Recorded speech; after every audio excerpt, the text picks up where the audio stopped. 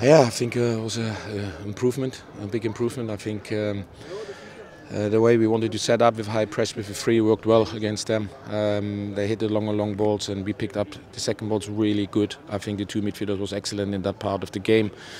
Uh, we got more ball possession. We could stay high up in the pitch. Uh, we had more chances, more crosses, more corners, and, um, and this is this is where also our two goals come from. Yeah, and about the two goals, uh, how about uh, Patrick Mortensen? He has been so secure on, on penalties. He scored once again. Put a few words on our captain. Yeah, he's leading the goal score, goal shooting score, the goal scorer charts.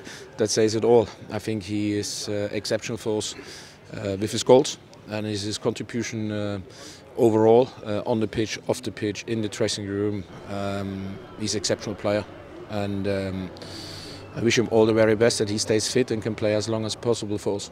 And how important was this win coming in the last two games? Now we have a few days. We play in 10 days against Randers on away. How important was this win?